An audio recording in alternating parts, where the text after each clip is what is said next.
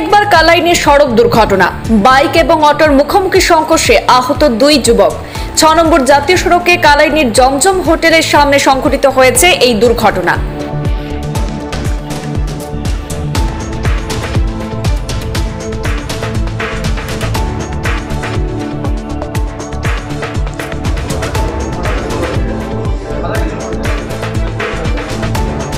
জানা গেছে, কালাইনের ছ নম্বর জাতীয় সড়কে দ্রুত বেগী বাইকের সাথে মুখোমুখি সংঘর্ষ ঘটে একটি অটোর।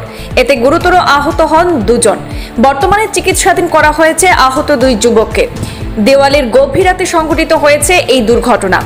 অভিযোগ উঠছে যে, পথ দুর্ঘটনা এড়াতে প্রশাসনের কোনো পদক্ষেপ নেই। গত বাহাত্তর ঘণ্টার মধ্যে তিন তিনটি ভয়ঙ্কর সড়ক দুর্ঘটনা সংঘটিত হয়েছে এই ছয় নম্বর জাতীয় সড়কে। গতি নিয়ন্ত্রণের জন্য মোটর পরিবহনের পদক্ষেপ গ্রহণ করা একান্ত জরুরি বলে মনে করছেন কালাইনের সাধারণ জনগণ।